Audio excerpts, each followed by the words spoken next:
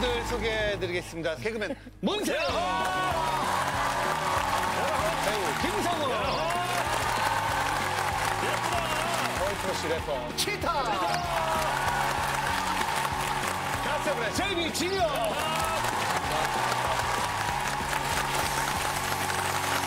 성훈 씨는 네. 늘 봐도 결혼했고 애 둘 있는 것도 아는데 몸매가 너무 응. 똑같아요. 결혼 똑같아요. 안 하신 것 같고 그리고 진짜요? 결혼한 지가 10년 가까이 되지 않았어요? 9년 차예요, 지금. 네. 그런데 늘 그렇게 알콩달콩 살 수 있는 어떤 비결 같은 게 있어요? 떨어져 살다 보니까 신랑이 그래, 지금도 그래. 강원도에 살거든요. 그래. 약간 같이 산 거는 몇 년 안 되는 것 같아요. 군대도 갔다 왔죠. 뭐 어머, 프랑스 리그에도 군대 갔다 있고. 왔죠. 보고 싶다, 빨리야, 사랑해 이런 말을 하게 되는 거예요. 그런 가장은 우리 문세윤 씨가 최고죠. 사랑, 사랑고. 아내를 너무 사랑하죠. 그러니까. 저 오늘도 좀 뽀뽀한 영혼 양좀 늦었어요. 뽀뽀한 영혼 양좀 늦었어요.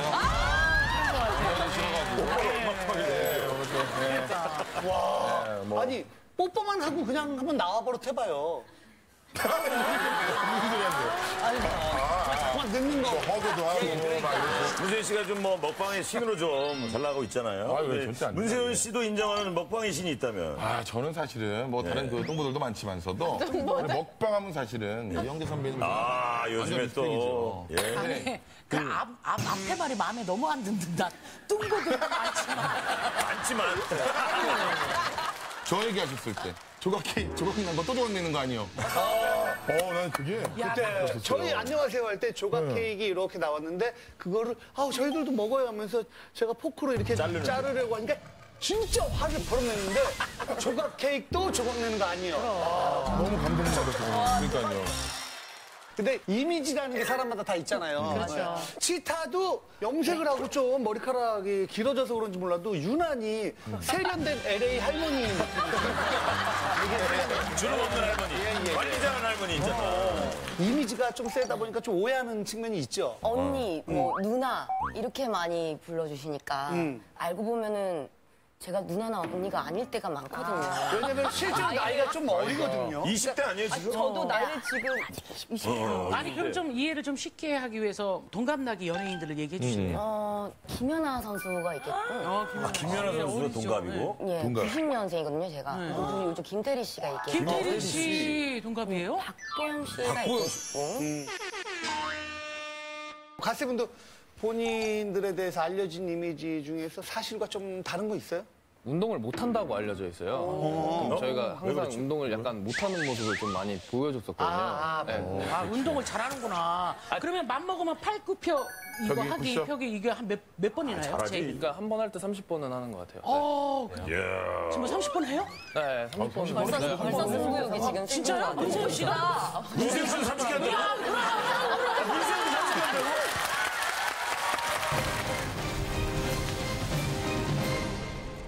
시작!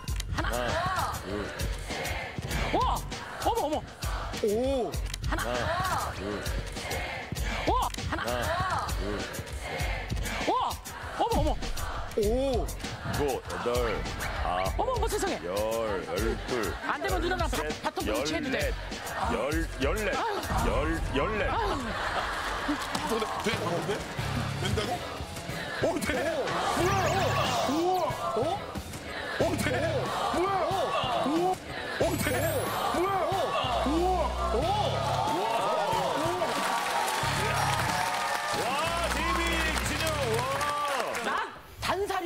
단단한 살. 아니, 나는 두 분이 합쳐서 30개 하시군요. 아, 이거. 아, 우리, 그러니까. 진짜, 어, 이거 뭐 배워 있는 거죠, 뭐. 가세븐 이번에 신곡 좀 소개해 주세요. 예.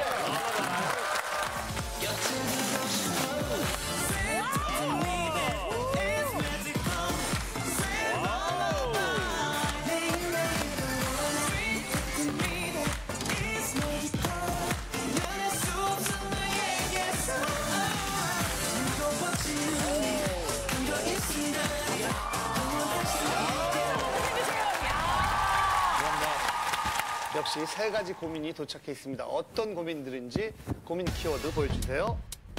헤어지지 마세요. 슈퍼맨에 비해 막내의 반란. 제가 소개해 드리도록 하겠습니다. 아, 여기 아빠 역할이 있는데, 예. 놀면 뭐예요? 아, 예, 예, 뭐. 예, 예. 어, 예. 예, 500원 더 드릴 테니까 네네. 출연료에다가 500원 더 드릴 충분하죠. 테니까. 예, 예. 예, 예. 안녕하세요. 경남 장원에 사는 초등학교 6학년 정윤서입니다. 저는 매일 밤만 되면요 무섭고 불안해요. 왜냐하면요 어. 우리 아빠가요 아유, 윤서야!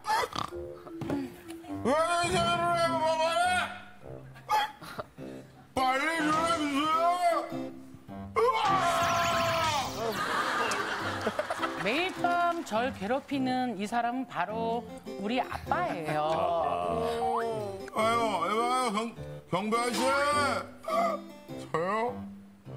아유, 너무 너무 힘들어요. 저요? 아저씨, 앉아봐요. 문세윤 씨 아유, 입에 있는 거 뱉고 연기 똑바로 해주세요. 삼키고 해. 아, 안주가 좀 더 있나, 더 있는 건데. 뭐. 예. 아이고, 얼마나 힘드냐면, 아저씨. 이게, 어, 어, 어, 아저씨. 어, 경비 아저씨랑. 아저씨 다 오라래. 동네 하나 사람들 와요. 그럼. 근데 문제는요. 아빠 술 먹고 자꾸 왜 그러는데? 동네 망신이다. 동네 망신. 어? 니뭔 소리고? 니 뭔 소리고? 그래요. 다음 달이면 기억을 싹 잊어버리셔요. 이러다 보니까 아빠가 엄마 앞에서 각서도 몇 번 썼습니다. 네, 또 술을 마시면, 막, 아내랑 이혼하겠습니다. 이혼하겠습니다. 그런데 그런데 하루가 지났나요? 아빠가 또 술을 드신 거예요. 아이고. 여보! 안 되겠다. 어?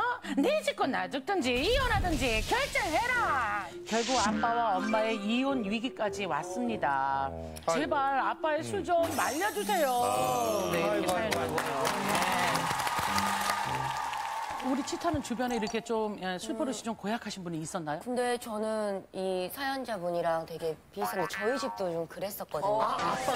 네. 지금은 돌아가셨지만 술 드시고 오셔가지고 싸우는 것도 보고 했는데 그게 너무 믿고 싫었는데 지금에 와서 생각을 해보면 되게 외로웠을 것 같더라고요. 아 빠도 아빠도 그때도 이 화장법이나 이 머리를 알았다면 예, 아빠도 감히 못하셨을 텐데 예. 네. 그때는 그냥 예, 검은 머리였죠. 예, 단발머리. 흰색 머리네. 예.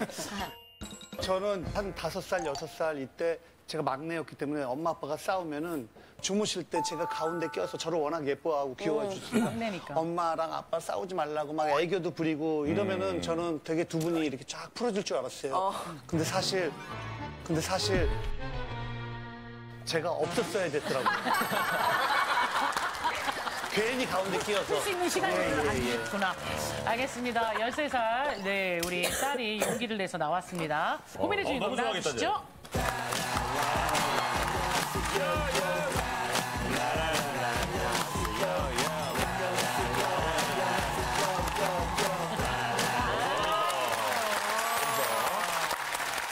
그 아버지가 얼마나 술을 드시길래 이 자리까지 나와서 이런 얘기를. 아마도 저희 아빠는 전생에 술이랑 운수였던 것 같아요. 어. 그러니까 거의 일주일에 한 다섯 여섯 번은 술 마시러 나가고 아빠가 술을 너무 마시, 많이 마시니까 저녁에는 제가 아빠한테 전화를 해서 아빠 어디야? 하면은 아빠는 또 어, 아빠 지금 갈게? 해놓고는 또 새벽 1시가 넘어서 들어오고. 지금 갈 게가 안 되죠. 어, 전화하면 막뭐뭐 시끌시끌한 소리가 나요? 템버린 소리 나고 또 시끄러운 템버린 소리 나고 또 시끄러운. 탬버린이요?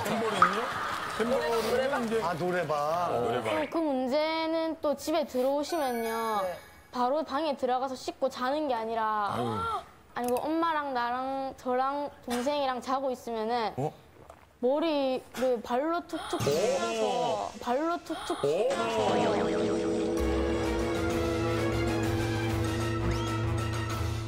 괴롭히는 거예요? 네. 머리를요? 발로, 발로 친다고요? 네. 그냥 일어나라고 하면은 그것도 무시하면은 니는 아빠 말이 안 들리나 어? 하면서 막 소리 지르고 막 그러 그러시고 또 외계어도 막 하시고 그러니까 피랑가랑 뭐 이런 거. 네, 어. 네. 그 시간이 몇 시 정도예요? 그 시간이 새벽 1시 넘고 15분, 1시 15분 넘어서 1시 15분. 15분? 15분 단위로 그걸 알고 있다는 건 쉽지 않은 네. 일인데. 아버지는 다음 날에 전혀 기억을 못 하시고 네.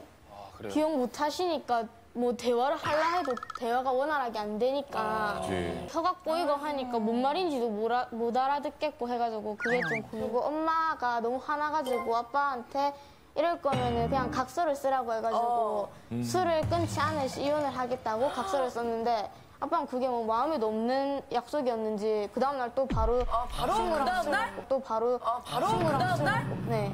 그 다음 날요? 네.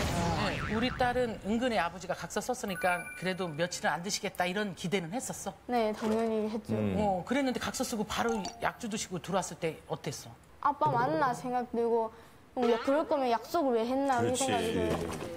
혼란스럽죠. 이런 일이 반복되니까 엄마 아빠가 혹시라도 이제 이혼하게 될까 봐 걱정돼서 네, 이렇게 네. 신청하게 된 거예요. 네. 최근에 엄마랑 아빠랑 주방에서 뭐 그릇 깨고 막 서로 중리 많이 하는 그런 부부싸움이 일어났었어요. 그때도 아빠가 술을 드신 상태였어. 네. 엄마는 아빠한테 왜 자기 존재는 알아주지 못하고 왜 자기만 그렇게 일방적으로 행동하냐고 이래가지고 이렇게 싸움이 나다가 가끔 엄마가 울, 우시는 거 보면은 어, 마음이 아프지. 좀, 네. 저도 같이 우고 싶었었어요. 아이고. 그치. 그래. 얼마나 겁나면은. 잘 잡을 나왔어, 오늘 잘? 나왔어. 잘했어, 빨리, 잘했어. 빨리 아빠를 만나봐야 돼. 그러니까. 아빠를 만나볼게요. 안녕하세요. 안녕하세요. 안녕하세요. 박수도 사람들이 잘 안 치려고 하잖아요. 아니, 그 딸이 사연을 처음 보내고 안녕하세요 이렇게 당첨이 돼서 됐다고 했을 때 어떠셨어요? 아무것도 아닌 사연을 이게 무슨 사연이라고 보냈니? 저도 황당했습니다. 아니, 아무것도 아닌 사연이라니요. 어, 성질. 성질 죽여, 성질 죽여, 성질 죽여. 뭐 던지지 마. 딸 입장에서 고민이 아닐 거라고 생각하신 거예요, 그러면? 가장들이 하는 일반적인 사회생활이다 보니까 제 일이 건설업이다 보니까 특히 또 남자들하고 또 둘이서 가가지고 커피 먹을 순 없잖아요. 저녁에 일주일 따지면 한 일곱 여덟 번 술을 먹어요.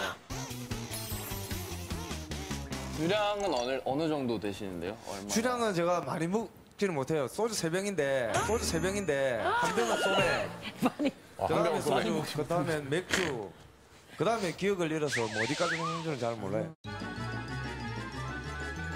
들어오셔서 발로 머리 차시고 왜 괴롭히시는지. 제가 기억이 잘 없습니다. 아우. 그게 문제라고, 그게. 그게 문제예요. 그 행동조차. 그러면 아니, 그 기억 안 나는 거에 있어서 잘못됐다고 생각해 보신 적은 없으세요? 비싼 돈 주고 술 먹었는데 그 기억이 나오면 되겠습니까? 아니, 아버님. 뭐 잘났다고 또 그래 얘기합니까? 제가 술 먹고 나쁜 행동을 하고 했으면 그 다음날 제 전화를 받았던 사람들이라든지 지인들이라든지 아침에 전화를 왔겠죠. 근데 아직까지 그런 전화를 받아본 적이 없어요. 아니, 가족들이 얘기했잖아. 아빠가 이렇게 했다. 네, 네. 그러면은 내가 그럴 리가 없어. 이런 생각이 드는 거예요? 아니면 민망해서 모르는 척 하시는 아니 거예요? 그러니까 솔직하게 진짜 얘기를 반반이에요, 해봐요. 뭐. 전화가 오는 일이 없으니까 나는 그런 행동을 하지 않았다. 지금 이런 말씀이세요? 네네. 아니, 근데 남이 저희가. 안 보면 그만이지만 네. 아니, 그렇다면 각서는 왜 쓴 거야? 맞아요. 자기도 뭔가 느꼈으니까는. 쓰라고 하니까. 안 쓰면 또 싸움을 하니까. 그게 문제야. 그 순간을 넘기기 위해서 박수를 쓰신 거였어요? 네, 각서를 써야죠. 어머니가 가장 큰 고민이었을 것 같은데 어머니 어떠세요 들어보시니까 그 돌 저희 윤서가 돌 전에 그날 또 어김없이 술 취한 남편을 제가 태우러 왔어요. 애가 울길래 오빠 애를 조금 세워봐봐 이러니까 어 이러더라고요. 근데 이거 계속 자지러지게 우는 거예요. 어. 그래서 제가 이제 봤더니 애 머리는 발 밑에 가고 어머. 이 다리에 아빠 여기 가슴에 들었어. 애를 거꾸로 든 거꾸로 거야? 하고 있어요. 아이고, 정- 정신이 없어갖고. 네, 그러니까 애가 피가 쏠리니까 이제 계속 울었는 거죠. 근데 아. 그때 일이 지금까지 연결될 줄은 몰랐어요. 이건 아빠가 기억하겠다. 아빠 기억나죠? 이건 오늘 엄청 큰 일이니까 그죠? 조금은 기억납니다. 아우, 발뺌하셔 또. 제가 얘기해서 알아요. 얘기해서 하는데 집사람이 그때 오빠라고는 들었습니다. 차 안에서. 아, 그때도 많이 드셨는데 보니까. 최근에도 크게 싸우신 적이 있으세요? 네. 최근에 제가 이제 교통사고가 났어요. 타이어 뭐 펑크도 나고 또 저희 자동문 그 발판이 다 깨져는 거예요. 당연히 남편한테 전화를 하죠. 금방 올 줄 알았는데 한 시간이 지나도 안 오고 이 사람이 아. 아무리 수습을 해도. 안 오는 거예요. 그래서 제가 전화를 했더니 아 맞다, 네 사고 났지? 어 깜빡했다 이러는 거예요. 그러고는 결국은 그 자리에 안 왔거든요. 왔어요? 네, 안 왔어요. 얼마나 서운했어요. 다음 날 제가 선택하라고 술인지 난지 선택하라 했더니 당연히 술을 끊겠습니다 하고 또 각서를 각서 쓰던 거. 쓰더라고요. 그래서 저는 이제 아 며칠은 가겠구나 했는데 그날 저녁에 애들이랑 밥을 먹으러 갔는데 그날 장대비가 엄청 오는 거예요. 차도 안 가져갔는데 그래서 오빠 데리러 올 수 있어 했더니 어 데리러 갈게 이러는 거예요. 그래서 이제 기다렸죠. 하염없이 기다렸죠. 안 와요? 안 왔어요. 아니 그럼 아예 차라리 못 온다고 하시던가 왜 그러니까. 이렇게 기대감을 주시고 특히 사고 났을 때도 보통 남편들은 바로 달려가지 않나요? 그러니까요. 그럼 술자리를 하고 있는데 사고가 나, 났어요. 그럼 네. 119를 불러야지 왜 남편이 문제가 합니까? 네. 119를 불러야지 왜 남편이 문제가 합니까? 119가 문제가 하면 되는데. 잘못 아니 119를 먼저 부- 잘못 아니 들은 거 119를 먼저 불러도 상황이 어떤지 달려가지 않나요? 아, 제가 술 먹고 빨리 가봐야 뭐가 도움 아내분 되겠습니까? 걱정 안 되세요? 119가 더 도움이 되지. 주변의 친구들이 무슨 전화야? 어, 우리 와이프가 사고 당했다. 아야 빨리 가봐. 이렇게 얘기 안 해요? 그런 얘기를 술 먹다가 집사람 사고 났다 어떻게 얘기합니까? 아니 근데 갑자기 장대비가 내렸잖아요. 그날 기억나시죠? 예, 그날은 기억하죠. 진짜 집사람이 그냥 우산 쓰고 와도 되잖아. 그 장대비에 술 먹고 있는 사람이 꼭 가서 데리러 올 수가 없잖아. 애도 아니고. 그럼 전화가 왔을 때, 야, 지금 뭐 친구들하고 한참 중이다. 택시 타고 와라. 라고 얘기를 해주지. 그러셨어요. 간다고는 했는데 술 먹다 보니까 그 그럼 생각이 왜안 나는 안 간다고 그 말이 안 나오세요 입에서? 나 못 가 술 먹는 중이니까 아내 그냥 입장에서 화가 나신 거지, 성훈 씨. 응. 어나 지금 막 올라와요 어떡해요? 그러니까 물 마셔. 어, 물 마셔. 이게 어. 아니, 물물. 그것 때문에 그 남편분한테 잊혀져 가는 것 같다고 한, 한- 하는데 그거에 대해서는 어떻게 생각하세요? 저도 존재를 알아주고 싶지만 이 사회생활 하는 입장에서 아 그러면 사회생활 안 하는 사람 누가 있냐고요. 가족하고 이제 술 마시는 친구분들이 있고 이거 중에 뭐 뭐가 더 중요하세요? 아니 당연히 가족이 중요하죠. 근데 제가 가족은 항상 때 집에 있잖아요. 친구가 더 중요하신 것 같아요. 왜냐면 그렇죠. 각서를 쓰셨다 했잖아요. 근데 술도 술자리 약속이잖아요. 그 각서는 지키지도 않고 술자리 약속은 항상 가시는데 어. 가족보다 친구가 더 중요하시지 않으세요? 각서는 며칠 날 안 먹겠다 이렇게 안 적혀 있어요. 각서 적었다고 해서 제가 밖에 나가서 사람들 못 만나고 할 경우는 아니잖아요. 술을 안 마실 수는 있잖아요. 각서 안 마시는 건 힘들죠. 왜냐면 사회생활. 사회생활이니까. 네. 사회생활 하다 보면. 아니 먹고 살아야 되니까 왜 업이 또 그런 쪽이니까 아빠가 어, 술안 드시고 집에 계실 때 주고 좀 가정적이에요. 아니요. 밖에 나가거나 뭐 영화 보러 가자 하면 둘인 채만 제도 안 하고 핸드폰만 보고 누워 있었어요. 아 어디 놀러 간 적 있어요 가족들끼리 아빠랑? 워터파크 갔는데 워터파크에서는 그냥 입장만 같이 해주고 저희끼리 놀고 나중에 집에 갈 때 방송으로 아빠를 찾았는데 아빠 어디 있었어? 아빠가 그늘에서 어디 있었어 아빠? 그늘에서 자고 있었어요. 그늘에서 자고 있었어. 야 입장 도우미한테 입장 도우미. 그럼 워터파크 갔을 때 아빠랑 같이 놀고 싶은 것들이 있었어? 어디를 가도 안 놀아주니까 그런 건 딱히 없었어요. 아 그러니까 그러니 가슴속에 밑바닥에 있는 것까지 다 오늘 다 얘기해봐. 어, 몇 년 전에 제가 입학식을 했었는데 다른 친구 아빠들은 다 왔는데 우리 아빠만 안 오고 뭐 하계를 한 네 번 정도 했었는데 그때도 한 번밖에 안 왔어요. 아이고 한번도 안 왔어? 윤서한테도 이러면 여동생은 동생이 그 폐렴으로 아팠던 적이 있었는데 아이고 폐렴. 나 갑자기 밤에 응급실 갔는데 그때 아빠 술 먹고 있어서 그냥 엄마랑 저랑 동생이랑 갔었어요. 아니 아플 때라든 그런 중요한 시기에는 좀 미리 빼서 꼭 가셔야 되지 않나요? 직장인이나 일하는 사람들은 또 시간을 못 맞출 경우가 굉장히 많아요. 뭐 굳이 엄마가 갈 수 있으면 엄마가 가면 되고 아니 그러면 그래서 언제 몰랐어. 아빠가 있어야 돼요? 그러면 어느 순간에? 진짜 급할 상황이나 뭐 급한 상황에도 안 가셨다면서요 아니 둘째 폐렴 때도 안 그럼 가셨다면서요? 아빠가 얘기해봐요. 급한 상황. 아빠가 생각할 때 이때는 내가 있어야 돼. 이 자리는. 뭐 남들이 위험을 받든지 위험을. 예. 어, 그거는 너무나 위험한 상황인데요. 네. 그거는 아버님 말고도 도와줄 분이 굉장히 많을 것 같아요. 근데 이런 상황이 굳이 하계나 운동회 이런 상황이라서 근데 우리 딸이 평소에 아빠가 나를 생각하는 그 마음을 제대로 알고 있었으면은 아 바빠서 아빠가 못 왔으니까 그렇지. 이해를 할 거예요. 근데 맞아요. 평소에 시간이 있을 때도 딸에 대한 마음을 써주는 걸 그걸 못 느꼈기 때문에 이게 너무 너무 속상한 거예요. 잘못했다고 크- 크게 생각이 감정이 이렇게 들지는 음, 그동안에는 그러셨던 거예요. 남편이 꼭 있어야 돼. 하는 순간에 없었을 때.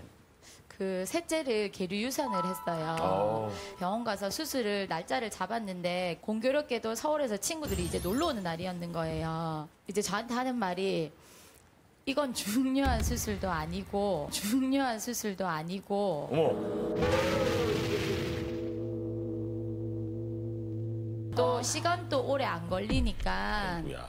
혼자 갈 수 없냐고. 그래서 저는 혼자 제 발로 가서 하고 제 발로 혼자 걸어오는데 참 너무 여자로서 너무 아이, 마음이 아, 안 들어요. 이거는 그런 수술하는 것도 애 낳는 거랑 똑같이 힘들고 그럼. 그 아픔이 있거든요. 옆에는 있었어야지. 그. 근데 이게 몸이 힘든 것보다도 그 마음이 정말 아플 텐데 그걸 옆에서 남편분이 좀 보듬어 줘야 되는데 이게 쉽게 얘기해서 좀한 둘이 만드는 그쵸. 내 아이가 유산한 거잖아요. 엄청난 거잖아요. 그 친구들하고 미리 한한 달 전에 저희들 펜션이 예약이 돼 있었어요.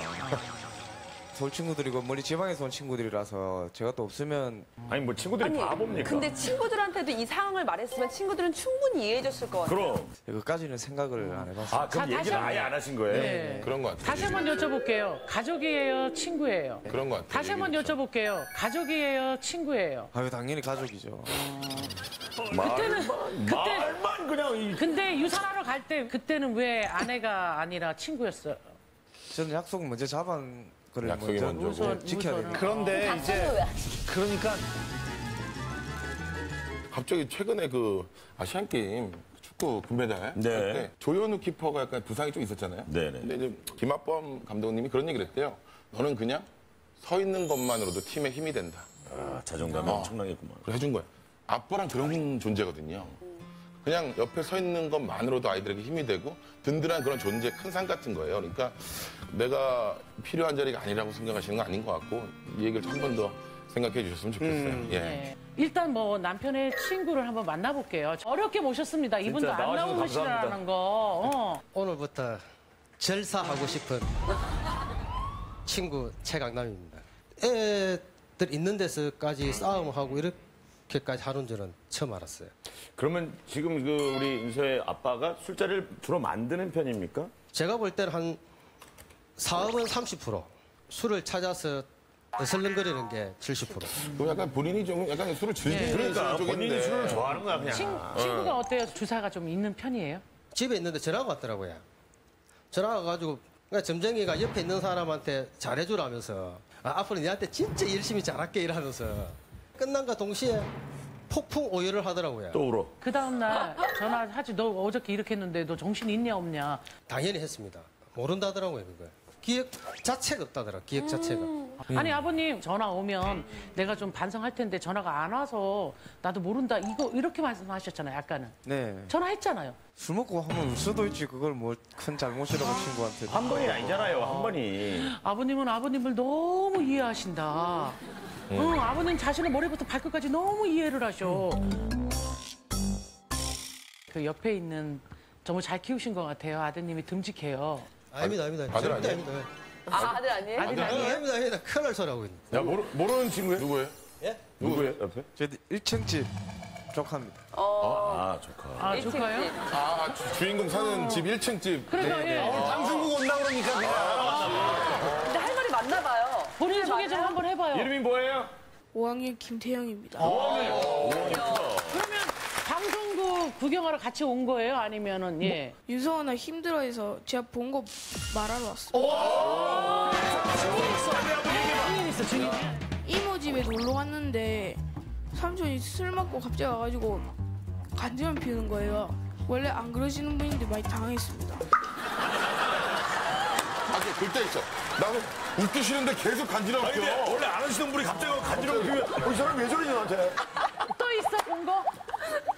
학원 마치고 자전거 타고 집에 오는데 삼촌이랑 윤성원아랑 각서 쓴 거 왜 여기냐고 싸우고 있었어요. 이모가 저희 집에 놀러 와서 전화하면서 삼촌한테 또 마시냐고 주전뱅이냐고 싸웠어 요. 많이 들었다 너. 진짜 모든 얘기 다 알고 있어요. 이웃인데. 삼촌이 병원 가서 술 끊는 캠페인 같은 거라도 했으면 좋겠어요. 아, 그, 그 너는 아빠가 어떻게 어때요? 아빠는 간이 안 좋으셔서 술을 못 드셔요. 그렇구나. 어, 아, 약간 그게 아유 그래. 철이 들었네. 그래. 아니, 커서 술 먹을 것 같아, 안 먹을 것 같아? 안 마셔야겠어요. 앞으로 생길 아내한테 잘해줄 거야? 커서 미래 아내한테? 네, 일찍 일찍 들어가고? 네, 네. 그러면은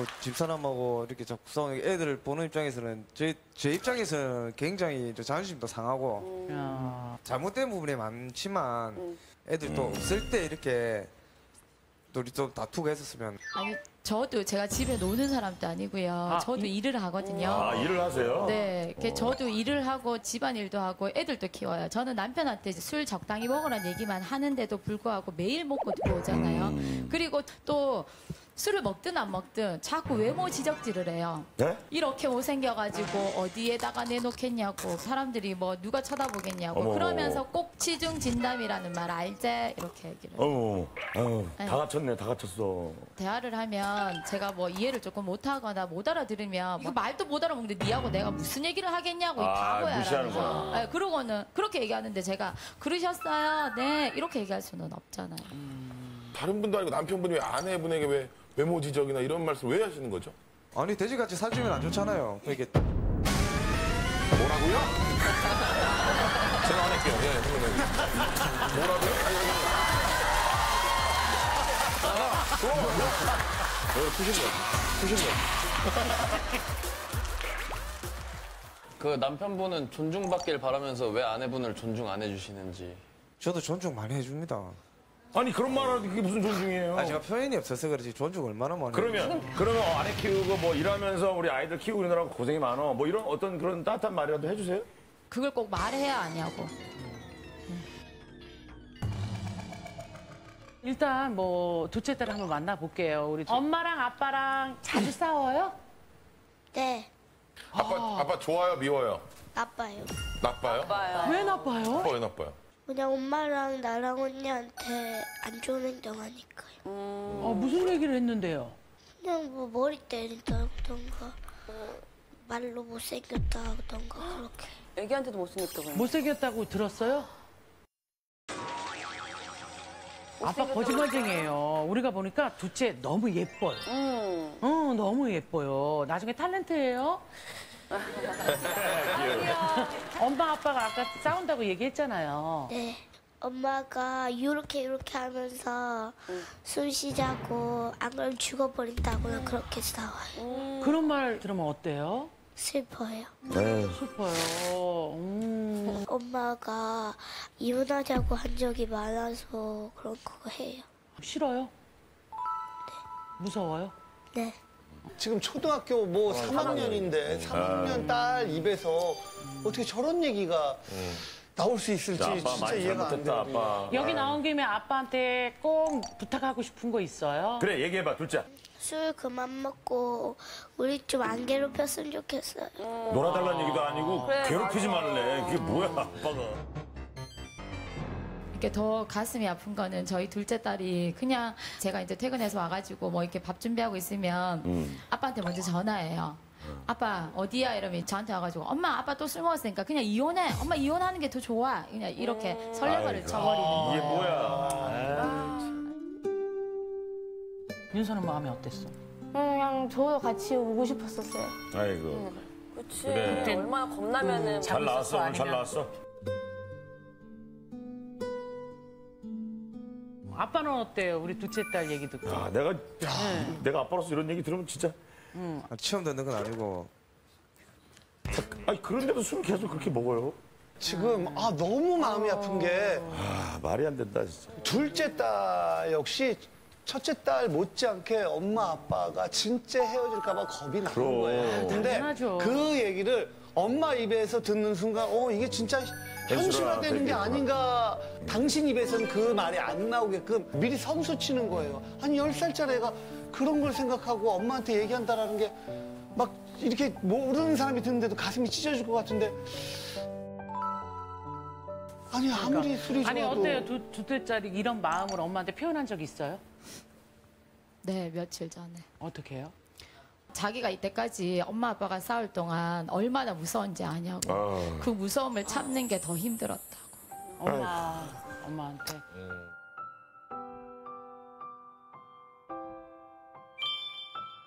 쟤는 얘는 무슨 죄 나놓고 아, 아버지 아빠한테는 얘기 안 했어요, 둘째가? 엄마 아빠가 싸우면 너무 무섭다고. 네, 그런 적은 없습니다. 오늘 처음 들었어요? 했대잖아요. 했어? 아빠한테 했어? 어, 근데 아빠가 뭐래? 미안해. 이렇게 말씀하셔? 어, 아버님. 밥 먹듯이 거짓말 하시네요. 예, 민망하시겠지만. 어차피 이게요. 아버지를 어떻게 우리가 다 미워하자 이게 아니에요. 어, 윤선의 가정이 달라지길 바라고 이 그럼요. 가정이 행복하기 그거죠. 위해서 행복하길 원하는 거예요. 나온 거예요. 그렇죠. 예. 마음가짐은 그랬는데 실질적으로 행동은 또 그렇게 아 이제 술에 지배당하고 계세요. 술에 노예예요, 노예 지금.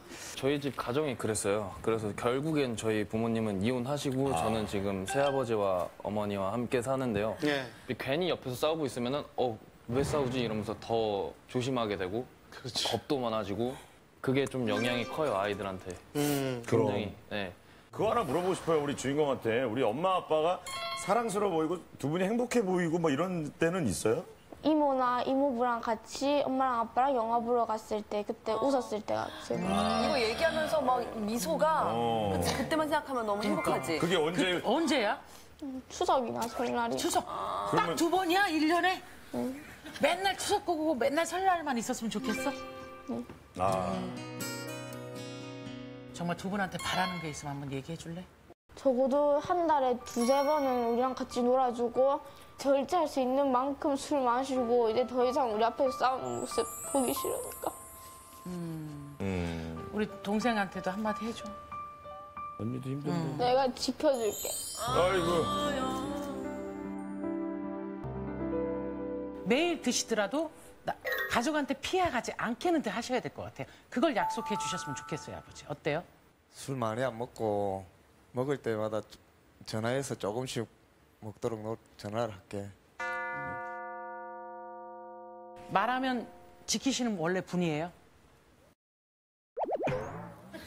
신뢰가 신뢰가 완전 사라졌어 지금. 일주일에 이렇게 술을 다 못 먹겠다 소리는 안 하고 하- 최대한 다 줄여보겠습니다. 자- 보여주실 거예요? 네, 최대한 노력하겠습니다. 자, 알겠습니다. 자, 우리 예, 진영 씨부터 갈까요? 고민이다 아니다. 뭐가 더 중요한 건지 한 번 더 생각하는 시간이 됐었으면, 됐으면 좋겠습니다. 굉장히 큰 고민이라고 생각합니다. 아버지께서 고민을 좀 많이 하셨으면 좋겠어요. 진짜 고민이라고 저는 네, 생각합니다. 누르세요. 아까도 뭐 말씀하셨지만 술이 문제가 아니라 저는 아이들이 불안에 떨고 이게 상처받는 게 너무 크다고 생각하고요. 저는 일단은 뭐, 예, 일단은 좀 고민이라고 생각하고요. 고민이었겠다라고 생각하시면 지금부터 스위치를 눌러 주세요.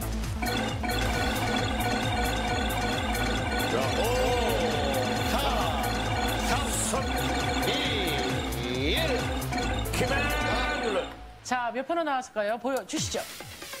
잘 눌렀을 것 같습니다. 자, 끝자리 7표.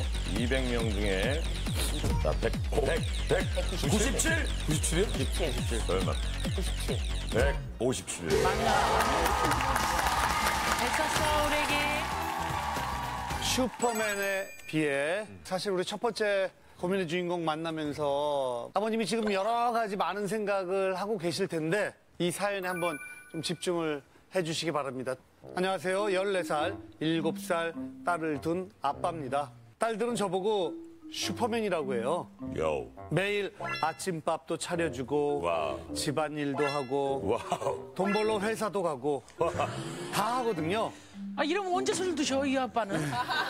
아니, 갑자기 이렇게 바지 뒤집힌 사연이 왔네. 아유. 제가 너무 고단해서 자고 있으면 딸들이 와서 발로 제 머리를 툭툭 친답니다. 아, 깜짝 놀랐어. 밑에 유머. 어, 이걸 저 혼자 하냐고요? 네, 와. 혼자 합니다. 사실 전 혼자 두 딸을 키우고 있는 싱글 아빠입니다. 남자 혼자 딸 둘을 키우려니 난감할 때도 많은데요. 아빠, 나 생리대 사야 되는데. 어, 어, 그래, 그래. 가만 있어봐. 어떤 걸 사야 되는 거였더라? 알았어, 아빠가 후딱 사올게. 하지만, 어머, 어머, 어머, 저 남자 좀 봐. 뭐, 어, 생리대 코너 앞에서 왜 저러고 있어? 뭐야? 눈치가 보여서 영 쉽지가 않습니다. 두 딸이 엄마의 부재를 느끼지 않게 제 딴엔 나름 부단히도 노력을 해보지만 작은 딸이 아빠, 내일 유치원에서 동요제 하는데 엄마 데리고 오래요. 어머. 이렇게 제가 할 수 없는 어쩔 수 없는 일들도 참 많네요. 가장 속상한 건 야야 너는 왜 맨날 아빠가 유치원에 데려다 줘? 어 그게 아이고 안 됐네. 음, 아이고 안 됐어. 사람들이 엄마가 없는 딸들에게 갖는 편견. 전 이게 제일 힘듭니다. 그다음에 편견하지. 우리 아이들이 편견 없는 세상 속에서 살 수 있도록 제발 좀 도와주세요. 네, 잘하세요. 이게 참 쉽지가 않죠 그렇죠 네. 얘기만 들어도 어. 근데 사연 들으니까 굉장히 잘하고 계신 것 같아요. 딸을 그러니까. 위해서 되게 헌신하시고. 엄청 멋있는 것 같아요. 그러니까 제가 봤을 때, 그러니까 딸 딸, 둘. 둘까지 케어를 다 하는 거니까. 그게 저는 사연 읽으면서도 조금 다 안타까웠던 게 우리나라 분들이 조금 독백이 커요. 그냥 어 아니 왜 남자가 생리대 코너에서 저렇게 세상들 그래 굳이 아니 이럴 필요 없잖아. 그것 때문에 상처받는 거거든요. 맞아요. 문재인 씨가 지금. 애 둘을 키우고 계시잖아요. 어, 그렇죠. 아내 하루 종일 휴가를 주느라고 애 하루 종일 둘을 봤대요. 근데 너무 힘들었다면서요. 아, 그- 이게 진짜 해보지 않으신 분들은 몰라요. 이게 마음은 내가 그렇게 해야지 하는데 나 정말 너무 어제 힘들었는데 마지막에 그래도 아들내미가 아, 오늘 아빠가 이렇게 선물도 사주고 같이 하니까 마음이 참 좋다 하니까 우르르 좋아지고 진짜? 그 말 한마디에 녹아 막. 네, 높죠. 근데 그거를 계속 꾸준히 지금 하고 있는 거잖아요. 한다고 생각해봐요. 일까지 하시면서 정말 Real 슈퍼맨입니다. 너 같은 남자 어디서 구해요? 네, 없어요 이제. 예, 팔렸습니다. 예. 네, 딸 둘이기 때문에 점점 커갈수록 참 고민이 많을 거예요. 고민의 주인공 나와주세요. 네.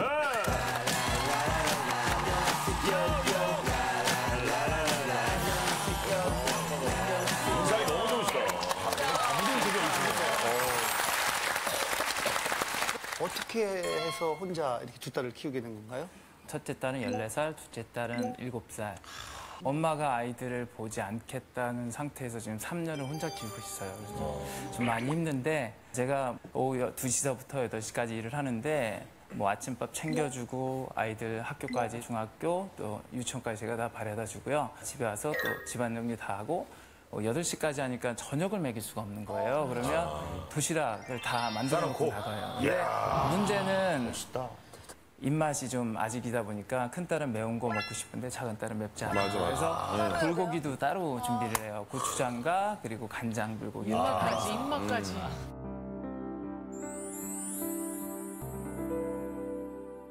그러다 보니까 솔직히 저도 되게 궁금했어요. 다른 분들 어떻게 하나. 그랬는데 우리나라 싱글맘이나 싱글 아빠들은 거의 조부모님이나 친척의 도움을 많이 받는데요. 근데 저는 부모님이 캐나다에 사셔서 저 혼자 그걸 다 완전, 완전한 혼- 혼자 완전 인사를 하고 계시네. 예. 근데 그렇게 일찍 와가지고 계속 왜 아이들 뒤치다거리 하다 보면 사회생활은 어떻게 하려고 그래요?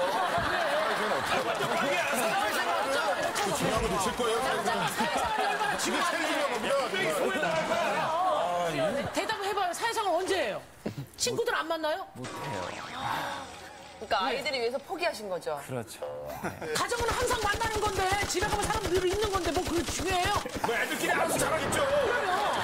애가 부밀리고 있잖아요. 그만하세요, 그만하세요. 뭐 지금 좀 많이 익숙해졌다 하지만 그럼에도 불구하고 어떨 때 가장 힘이 들어요? 몸이 힘든 건 정말 괜찮은데 편견이라는 거죠. 제가 학원을 운영하고 있었어요. 근데 이혼 후에 무조건 남자가 잘못했다는 소문이 들더라고요. 근데 그게 정반대 상황인데도 불구하고 그러더니 학원 학생도 떨어져 나가면서 아하. 근데 가장 중요한 건 아이들의 상처죠. 왜냐하면 부도덕한 아빠 밑에서 자라는 아이들이 되잖아요. 그 아이들이 그런 말들을 들었을 때 더 상처를 받을까 봐 한국에 살 수가 없었었어요, 그 당시에. 그럼 떠났다가 실제, 다시 오신 거네. 그럼 실제로 아이들한테도 영향 끼친 일들이 있었어요? 첫째 딸이 저한테 물어본 적이 있어요. 아빠 아이들 집에 초대해도 돼? 이렇게 말, 물어보더라고요. 근데 저는 어 그래 근데 아빠가 혼자 키운다는 거 솔직히 그쪽 어머니들한테 물어보고 그분들이 오케이 하면 나도 오케이 할게. 그럴 수 있죠, 예. 그렇죠. 네, 아무도 연락이 안 오더라고요. 아, 그, 아. 그리고 무섭네. 둘째도 또 문제가 되더라고요. 둘째는 주말마다 키즈 카페를 간다고 아이들과 약속을 해요. 그래서 이제 전화번호 달라 그래요. 그럼 전화번호 적어주면 전화번호 기다리죠. 근데 전화가 안 와요. 아. 근데 전화가 안 와요. 아, 이게 왜 그러지? 아빠라는 이유 때문에 그렇게 부담이 될 수밖에 없죠. 근데 이게 이제 곰곰이 생각해 보면은 뭐 그분들 입장도 이해가 되는 게 사실 엄마들끼리는 단체 그 문자방 같은 거 만들어가지고 맞아, 뭐 맞아. 어때 네. 어때 사진도 찍어주고 네, 네, 그런데 네. 그 엄마들이 직접 또 아이 아빠랑 아빠를 연락한다라는 게. 조금 부담스러울 수 그런 있고. 부분은 엄마들 입장에서는 성훈 씨가 잘 알겠네. 그러니까 저도 지금 생각해 보니까 단카방 얘기를 하셔가지고 저희도 엄마들 모임이 있는데 있어요? 거기에 누구의 아빠가 들어온다고 하면 뭔가 좀 약간 단카방에 조심스러운 어 이렇게 될 것 같기는 하네요. 또 생각을 해보니까. 그럼 딸들은 지금 저 엄마가 지금 예, 부재인 상황을 정확히 알고 있나요? 아이들은? 어, 첫째는 정확히 겪었으니까 알고 있는데 둘째는 다행히 찾지는 않는데 그래도 주위에서 알게끔 만들어주는 게좀 너무 그게 힘들다고 슬프다, 봐요. 진짜. 그러니까 유치원 차를 태워 보내려고 나갔는데 아이들이 너 왜 아빠 마나 엄마 어디 있어라고 물어보는데 애가 당황하는 얼굴이 딱 봤을 때 너무 마음이 아픈 거예요. 그래가지고 힘든데도 불구하고 아침에 제가 직접 데려다주고 그 말 좀 덜 듣게 하기 위해서 그런데 가정통신문 같은 거 볼 때 너무 마음이 아파요. 엄마랑 놀아주기 숙제, 엄마한테 물어봐 이런 게 진짜 써서 오더라고요. 아, 그 숙제가? 네. 씨 맞아요. 그래요? 요즘? 맞아요. 그러니까 부모님과 뭐하게 이렇게 하면 되는데 그렇죠. 부모님과 뭐 그냥 하게 하면 되는데. 다 그냥 엄마랑 뭐하게 근데 이런 게 있는 특히 거죠. 우리나라가 아빠들이 많이 이렇게 안 놀아주고 그렇죠. 바쁘고 그러니까 아예 기대를 안 하고 그냥 당연히 그런 것 같아요. 엄마랑 맞아요. 이렇게 논다라고 생각을 해서 그렇게 쓴 건데 이제 앞으로는 진짜 뭐 엄마나 아빠랑 뭐 함께 그렇죠. 하고 그렇게 써주면 좋죠. 이렇게 써주면 예. 좋겠네요. 그래서 저도 애들의 상처나 이런 편견들이 분명히 있을까봐 걱정이 됐어요. 그래서 사연을 보냈죠. 그러면 제가 나와서 이렇게 얘기를 하면 조금이라도 그 상처나 편견이 좀 더 없어질 것 같아요. 잘 나오셨네. 진짜 지금 주인공뿐만 아니라 다른 분들도 이런 상황 있으신 분이 분명히 있을 거거든요. 예, 예. 자, 우리 아버님이 그토록 아끼는 우리 예쁜 딸들 만나볼게요. 안녕하세요.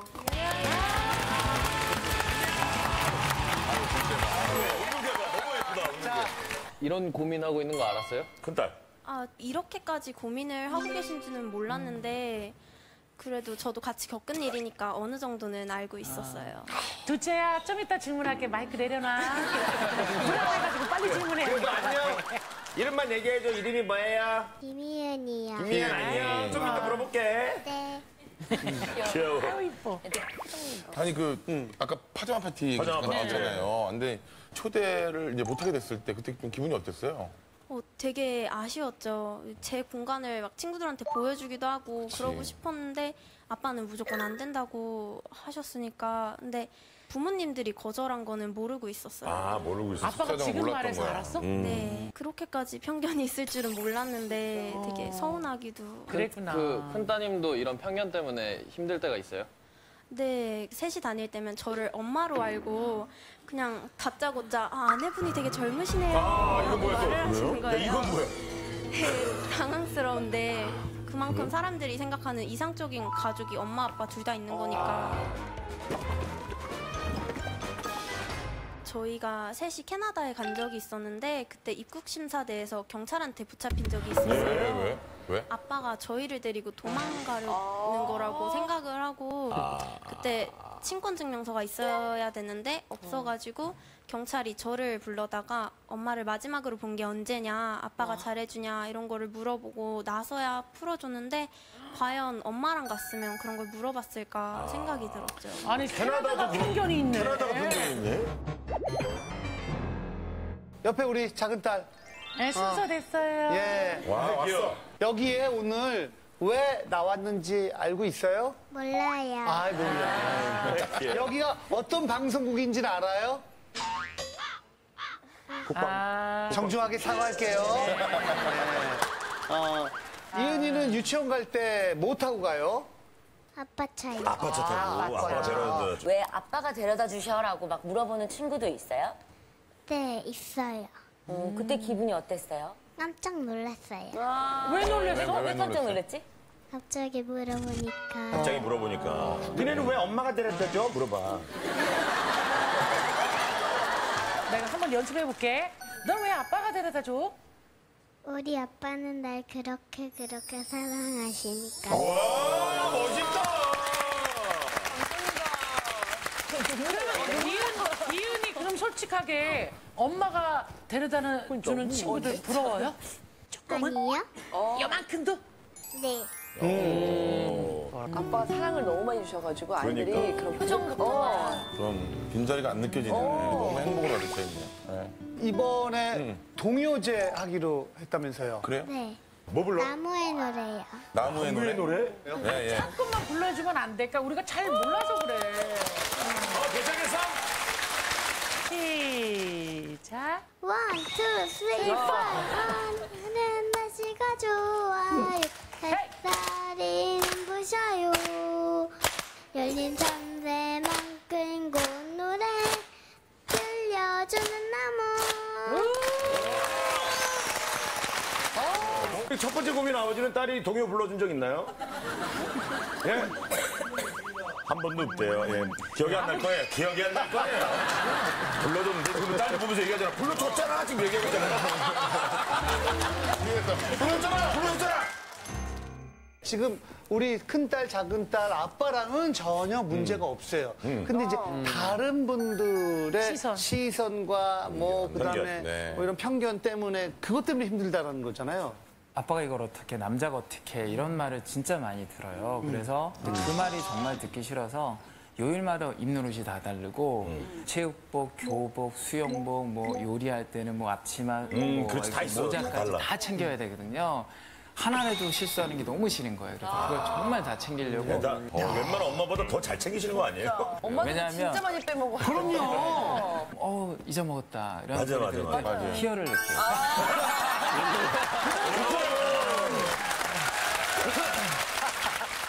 한부모 가정에서 이렇게 자라는 것에 대해서 조금 걱정을 하거나 뭐 그렇게 바라보는 거 알고 있죠.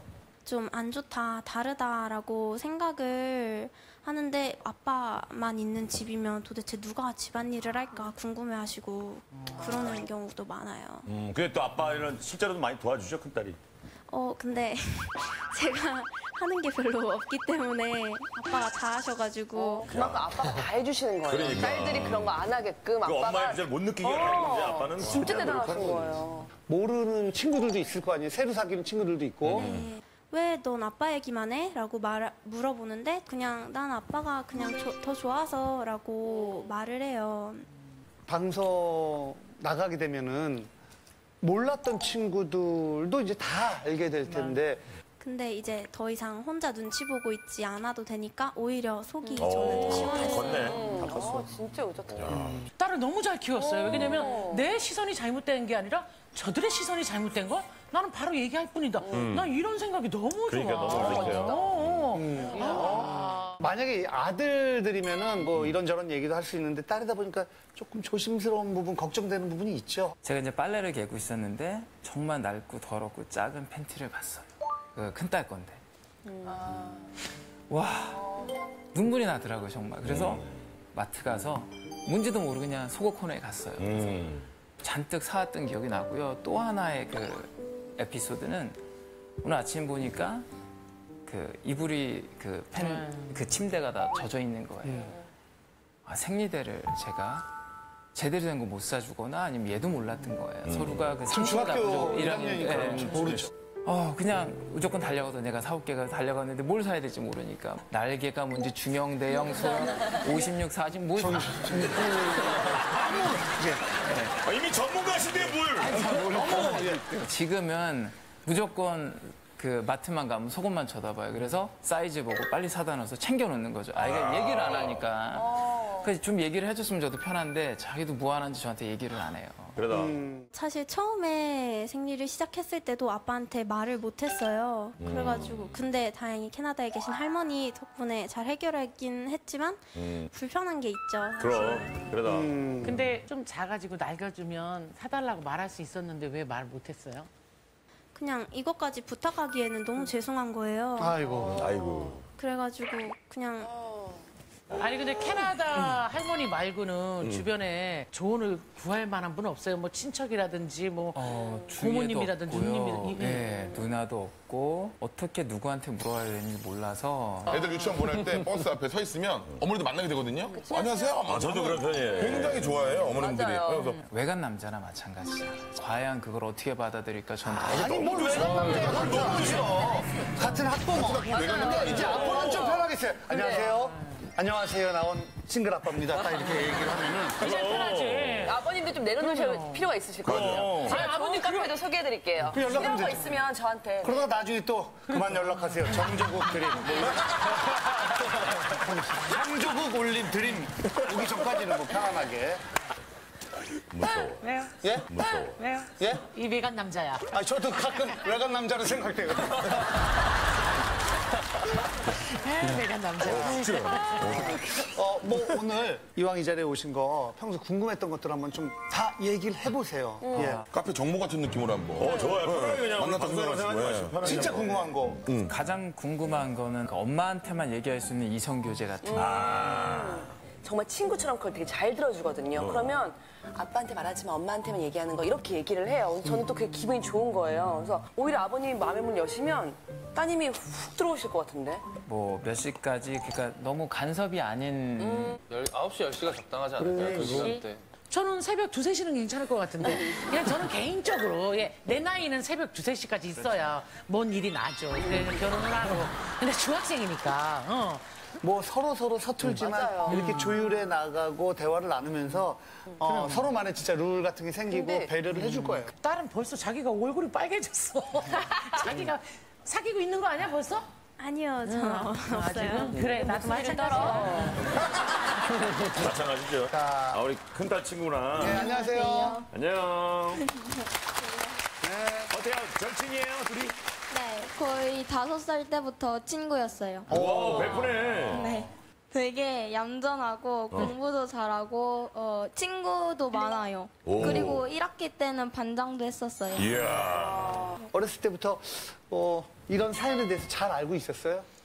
어, 저도 몰랐다가 작년에 처음 알게 됐거든요. 네. 저희 엄마 아빠가 다투셔서 힘들다고 털어놓았는데 그때 이지가 엄마 아빠가 나도 이혼했는데 그래도 잘 버텨서 여기까지 지금 잘 왔으니까 너도 힘내라고 어, 위로해줬어요. 근데 그러면 이지 그렇게 친한 친구인데 본인은 남자친구 있고 이지는 없는 거에 대해서 미안하진 않아요? 전, 저는 없는데. 저는 없는데. 어, 이들 있어? 목소리 떨린다. 잠깐만, 저기 이지랑 그거는 끝까지 얘기 안 하기로 약속했어요? dumdum, 드르듬.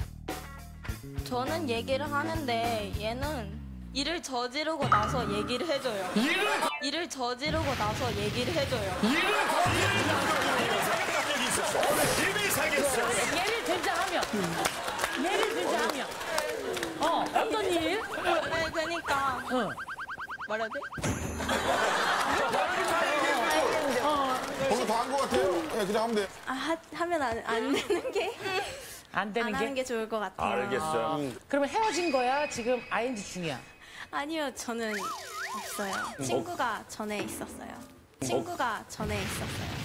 너도 있었잖아. 너도 있었잖아.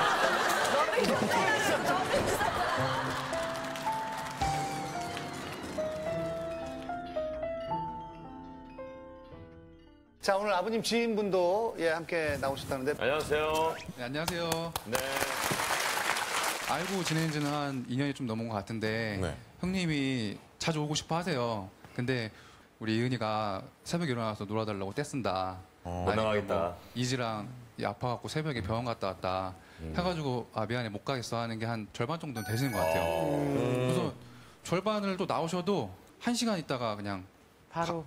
운동하고 있으면 가버리세요. 그럼 모든 게 아이들한테 초점이 맞춰 있는 것 같아요? 그쵸. 아예 맞춰 있는 같은 게 아니라 맞춰 있어요. 아, 예. 지금 들어보셔서 아시겠지만 항상 가장 큰 고민이 제가 볼 때는 아이들을 뭘 어떻게 먹을까. 어. 양 부모님이 다 계신 집에서도 뭐 외식도 많이 하고 그 뭐 배달도 시켜 먹고요. 때도 있고. 많이 하고 그러는데 네, 좀. 그렇게 잘 안 하시려고 하세요. 제대로 된 거를 먹여야 그걸 아이들을 밥을 먹였다고 생각을 하시는 것 같아요. 그거 되게 힘든 일이잖아요. 아, 좀 멋지네요. 진짜 아버지. 음, 가끔 제가 잘 때 외출을 하시는 경우가 있는데, 네. 그때도 동생이 꼭 깨가지고 전화를 해요. 아빠를, 아빠. 근데 심각한 상황이 아닌데도 바로 달려오시니까 그때는 저 때문에 또 아빠 시간을 망쳤다는 죄책감이 들어요. 아, 딸이. 제가 동생을 잘 케어하지 못해가지고 아. 그랬다는 느낌이 들기도 하고요. 이게 아, 너무 배려해서 서로가 너무 배려. 서로가 너무 배려해. 배려, 배려. 배려 가족이야. 배려로 처음 싸울 수 있을 것 같다는 생각이 듭니다. 서로 배려하다가. 아니 근데 그 우리 지금 큰 딸은 이제 중학생 됐으니까 그렇지만 작은 딸이 아빠를 그렇게 많이 찾나 봐요.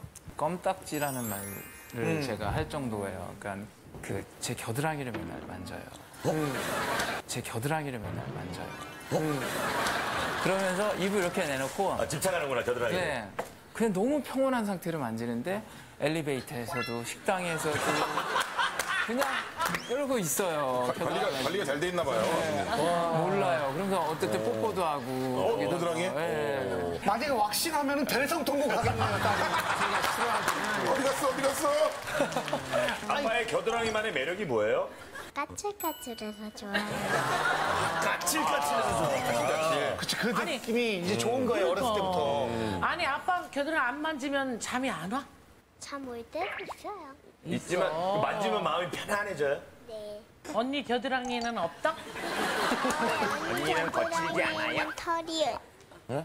전혀는 없는데. 아, 털이 없다고? 예, 그래. 아이고. 아니, 걱정이 너무 많으신 것 같아요. 지금 너무 잘 크고 있는데. 고민 안 하셔도 될 것 같은데. 왜? 너무 잘 자랐어. 왜 그러냐면은 지금 엄마의 빈자리를 너무 크게 신경 쓰다 맞아요. 보니까 너무 처음부터 끝까지 다 해주려고 하는 게 아닌가. 그 아이가 글을 소설 쓰는 걸 되게 좋아해요. 그래서- 큰딸이요? 예. 오. 근데 글을 썼는데 그걸 제가 봤는데 거기는 엄마가 없는 아이가 주인공이에요. 그리고 아빠는 맨날 우는 아빠로 나와요.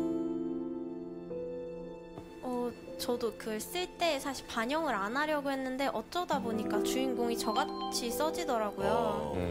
엄마를 어떻게 표현해야 될지 몰라가지고 그렇게 쓴 거였어요. 그냥 아이들은 상처를 많이 받은 아이들 같고 저도 상처를 받아서 계속 미안한 마음만 미안한 있으실 거예요. 계속 해주셔도. 정말 여기 와서 하고 싶은 말은 제가 실명을 했었어요 대학교 때. 근데 각막을 이식받으면서 그 고통을 이겨냈는데 아이고. 아무것도 아닌 거예요. 가족이 나한테 주는 상처 배신은 너무 커요. 그래서 가족한테 너무 잘하라고 그 말을 해주고 싶어요.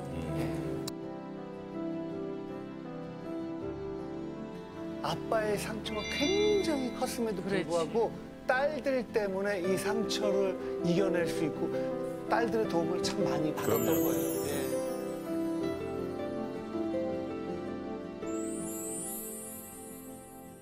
근데 사실 오늘 싱글 아빠 사연이 여기 저희한테 도착해서 그렇지 이게 뭐 싱글 엄마도 있고 다양한 형태의 가정을 이루고 살아가는 사람들이 많잖아요. 근데 우리는 그냥 우리와 좀 다르다고 해서 틀리다고 보죠. 아주 나쁜 마음을 나- 먹고. 얘기하는 건 아니지만 무의식적으로 아주 날카롭게 그 사람한테 상처가 되는 말들 아, 진짜. 이게 그래. 자주 내뱉잖아요. 네. 장경동 목사님 또 내가 아무렇지 않게 하는 말이 상대방에게 상처 줄 수 있구나 그럼요. 라는 걸 느꼈는데 거꾸로 얘기하면 상대방이 아무렇지 않게 한 말을 내가 굳이 상처받지 않아도 된다 이 얘기를 했거든요 그러니까 가지고 상처로 갖고 있을 본인의 필요는 상처 없다 때문에. 네. 어, 일리가 있나? 네, 그냥 버리면 되는 거죠 네. 마지막으로 딸들에게 직접 해주세요. 어, 지금처럼만 해주면 고맙겠고 너희들은 존재만으로 내가 너무 사랑을 많이 받는 느낌을 받아 나도 더 최선을 다할 거고 그리고 제가 정말 열심히 키울 테니까 우리 딸들 나쁘게 봐주시지 말아줬으면 좋겠어요. 아유, 그럼요. 그리고 편견도 좀 버려주시고요. 그걸 얘기하고 싶어서 사연을 보냈습니다. 우리 둘째 딸 아빠한테 하고 싶은 말. 아빠. 아빠 고마워요. 어, 둘이 더 노력하면 사람들 편견도 다 바꿀 수 있는 날이 오지 않을까 예. 생각을 해요. 우리 우리 큰, 큰 딸이 사랑해요. 예. 아유, 예, 예쁘다. 자, 저도 약간 그 상을 드리고 싶고 어, 그런 느낌이고 고민 아닙니다 제가 볼 때.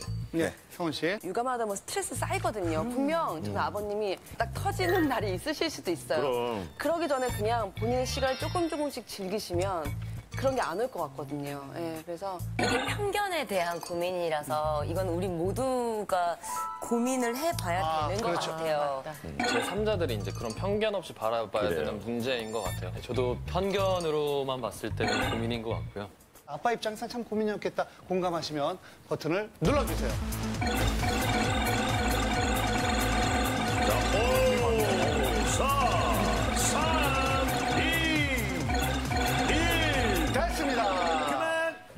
보여주세요. 슈퍼맨에 비해. 이렇게 많지는 않았죠. 자, 대표 넘어가니까. 오, 넘어가네. 첫 번째 고민 150. 우리 결과는요? 술은 못 이겨. 제목은 막내의 반란입니다. 어, 안녕하세요. 19살 고3 여고생이에요. 전 요즘 진로 때문에 고민이 참 많아요. 저 말고, 저 말고, 저 말고요. 13살 막내 동생 때문이에요. 언니, 나 꿈이 생겼어. 유명한 안무가가 될 거야. 어린 나이에 꿈을 찾았다니 참 기특했죠. 그런데 똑똑똑똑 막내야 방에서 하루 종일 너 뭐해? 어, 춤 영상 봐. 밤 12시인데 너 안 자니? 춤 영상 봐. 처음엔 정말 열심히 했죠. 근데 열심히는 개뿔. 알고 보니 매일 SNS에 깨똑질만 하는 거 있죠? 너 안무가가 되려면 춤 연습을 많이 해야 된대. 아 언니가 노래다 그래. 언니가 잘해 너가. 다 아신 거 아니에요? 뭐, 뭐, 뭐. 아, 진짜, 어, 그러네. 춤 연습은 일도 안 하고 시력만 나빠지고 아주 성적만 뚝뚝 떨어지는 제 동생. 제 고민 좀 속 시원히 해결해 주세요. JB가 언제부터 연습생 생활 시작했습니까? 제가 원래 그 힙합이라는 문화를 좋아해서 그 b-boying을 시작했었어요. 저는 춤으로. 그래서 중학교 2학년 때부터 이제 고등학교 1학년 때까지 비보잉 하다가 죽어도 비보이 해야겠다 하다가 이제 캐스팅 해서 오디션 또 보고 하다가 이제 이렇게 붙어서 이제 가수의 갓세븐의. 꿈을 갖게 된 거죠. 오, 진영은요? 저는 한 14살 때 거의 비슷한 나이야, 지금. 요 사연이랑. 그때 춤을 배우러 좀 멀리 왔다 갔다 하면서 2, 3년 배우다가 JYP 오디션을 보고 이제 발탁이 돼서 아니 멀리라고 그랬는데 좀 구체적으로 얘기해 주면 안 돼요? 어떤 친구한테는 이 말이 되게 꿈을 이뤄가는 음, 방법일 수 있거든요. 멀리가 어디서부터 어디까지? 저 이 고향이 경상도 진해입니다.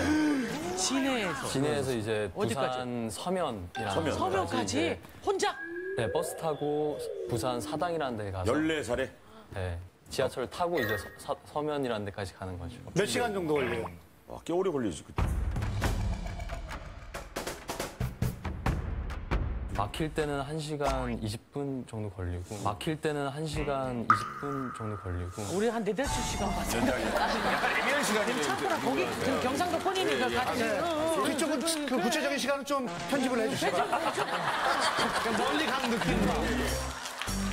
자, 오늘 주인공 나와주세요.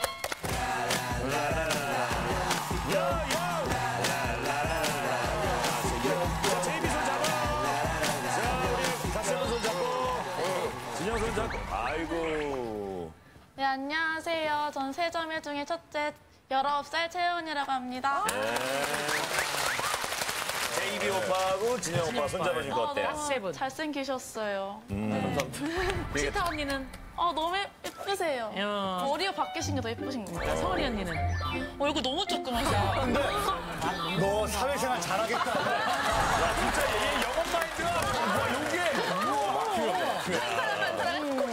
신동엽 씨는 진짜 어때요, 어때요? 화면에서 보는 것보다는 눈이 그렇게 덜 몰렸지. 저희 선생님 보여주세요. 계시거든요. 선생님. 부장 선생님 너무 닮으셨어요. 근데 잘생긴 부장 선생님.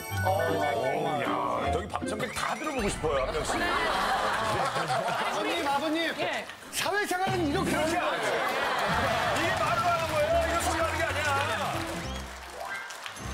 동생이 언제부터 안무가가 꿈이 되겠다, 저- 꿈이라고 얘기를 했어요? 제 동생은 13살이고요. 1년 전부터 안무가가 되고 싶다 했어요. 아, 진짜? 네. 근데 제 연습한 모습을 한 번도 본 적이 없어요. 한 번, 단 한 번도? 네.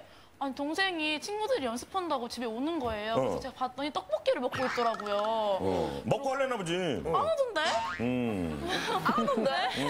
그래서 제가 12시에 보니까 영상 보나 봤더니 좋아하는 아이돌 대화한 영상을 보고 행복해 하더라고 있, 더라고요 대화한 영상 보고. 네, 뭐 웹툰을 보고 SNS 하고 하더라고요. 아 근데 뭐 그럴 수 있잖아요. 놀고 싶을 나이에 좀 놀다가 하기도 하고 너무 일찍부터 거- 그- 걱정하는 건 아니죠, 언니가. 근데 성적이 원래 90점이었다고 하더라고요. 근데 70점으로 뚝 떨어지고 수치점대로 떨어졌어. 처음에 하원이가 책도 진짜 많이 읽고 되게 착했어요. 근데 지금은 제가 뭐만 하면 언니가 뭔데? 근데 이러고 언니 예민해. 뭘 알아? 눈알이 튀어나올 것 같아서 때려봐요. 희번덕거리는 어떻게, 어떻게? 네, 희번덕해. 희번 덕하게 째려보는 거예요. 그러니까 아예 안무가를 반대하는 거야 아니면은 그 안무를 열심히 연습하고 노력하면은 그거를 이렇게 응원해 줄 거예요? 솔직히 제가 볼 때는 연습을 안 하니까 안 했으면 좋겠어요. 연습을 안 하니까 네. 재능이 있을 거라고 생각할 수도 있잖아요. 왜냐면 집안의 그쵸. 피라든가 뭐 이런 걸 생각했을 때. 저희 집 세, 세 자매가 다 춤이나 노래가 그- 그다지라서 네. 그러니까 전 제 마음에서 걱정이 되는 거죠. 그 미리 조언도 해주고 그러고 싶은데 말을 안 들어요. 그게 제 고민인 거예요. 대화가 일단 안 되니까. 일단 안 되니까. 자 그러면 막내 동생 만나봅니다. 안녕하세요. 언니의 고민은 이해가 됩니까? 아니요. 언니 얘기만 들어보면 제 잘못만 있는 것 같은데 음. 언니 잘못도 있어서 어, 어떤 거요? 언니 잘못 좋아. 아니 제가 그 밤늦게까지 핸드폰 했던 거는 제가 춤 연습 영상도 보고 되게 그런 거 찾아봐서 그런 건데 언니가 제 SNS나 그런 건 보는 건 줄 알고 나름대로 뭔가 노력한 건 어떤 거예요? 음 제가 이제 일주일에 세네 번 정도는 친구들이랑 만나서 춤 연습도 하고 어 하네. 음. 그리고 뭐 학교 공연도 세네 번 정도 했었어가지고 어 공연까지 무대까지 올라갔었네. 존경하는 안무가 있습니까 그러면? 배은정 안무가님 어, 예. 이나 리아킴 안무가님을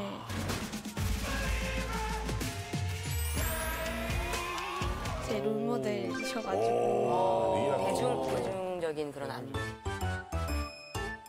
그 안무가를 하려면 되게 연습도 되게 많이 필요할 텐데 하루에 한 몇 시간 정도를 하루에 한 시간씩은 꼭 한 시간씩은 꼭 하는 것 같아요. 아춤 연습을. 네. 아 무조건 한 시간 어때요? 괜찮아요? 사실 그 제가 경험상으로는 하루에 한 시간으로는 부족해요. 제가 봐왔던 안무가 선생님들이나 뭐 외국에 되게 유명하신 분들을 보면 하루 종일 그 얘기를 하고 살아야 돼요. 춤에 대한 얘기.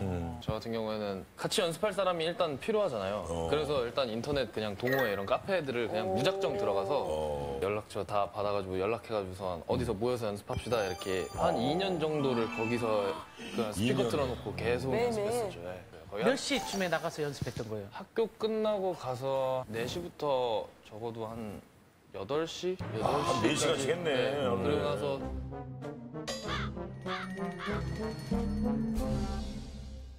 그러면 그거에 대해서 물어볼게요.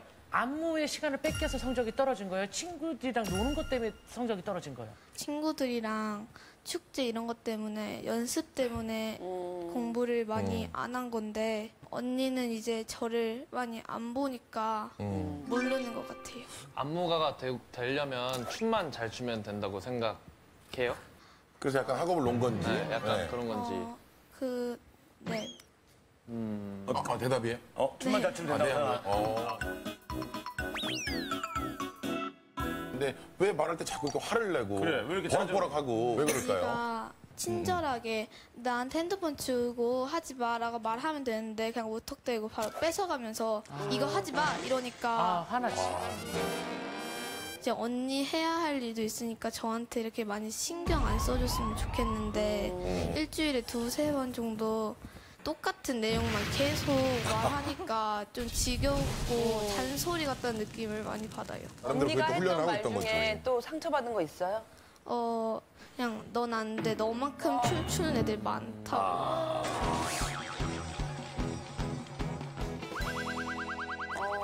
보지도 않았는데. 안 봤는데 어떻게 알아? 한다고 게 아니야. 저는 아니 그 춤을 못 봤다며. 그 3, 3 20초? 어. 그 정도는 보고 빼서요. 저 못 보게 하려고. 아, 제 췄던 네. 거를.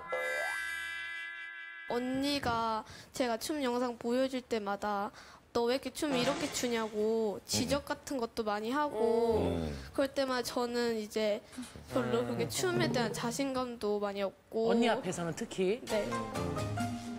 대화 방법을 좀 바꿔 볼 생각 안 해봤어요? 근데 제가 좀 가족이잖아요. 그러니까 약간 더 객관적으로 말하게 되고 좋게 말하려고 해도 잘안 들어요. 저 언니니까 음. 더 세게 말하게 되고 들으라는 식으로 말하다 보니까 강하게 되는 것 같아요. 저는 그냥 취미로 했으면 좋겠어요. 취미로? 일단은 모든 게 앞으로는 기계화 예. 되잖아요. 근데 뭐 그거보다? 예. 사람이 진짜 할 수 있는 일을 해야 되는데 기계가 예. 못하는 일을 음. 해야 되는데 그게 뭐예요? 로봇을 제작하는 공학자. 로봇을 제작하는 그런 공학자. 로봇공학이나? 어, 로봇공학. 근데 흥미가 로봇 쪽에. 없는데 어. 계속 하라고 하니까 듣기 싫을 때도 있고 아, 연습을 열심히 하고 노력하는 모습을 보여주면 밀어주고 싶은데 제가 보기에는 말로만 하고 음흠. 뭐 학원 보내줘 이렇게 하거든요. 음. 그러니까 저 입장에서는 정말 엄마가 너 그만 연습해. 너 잠자야지. 이렇게까지 한다면. 아, 이거 제가 진짜 좋아하는구나. 이렇게 생각이 들면 예, 제가 시키겠는데. 저- 예, 그럼 진짜 밀어줄 수 있을 것 같아요. 그럼 우리 딸은 엄마나 언니 앞에서 막 일부러 좀 더 춤을 많이 춰보고 뭐 그러진 않았어요? 아 제가 만약에 언니 앞이나 엄마 앞에서 춤을 추면 다 지적을 좀 더 많이 하는 편이라서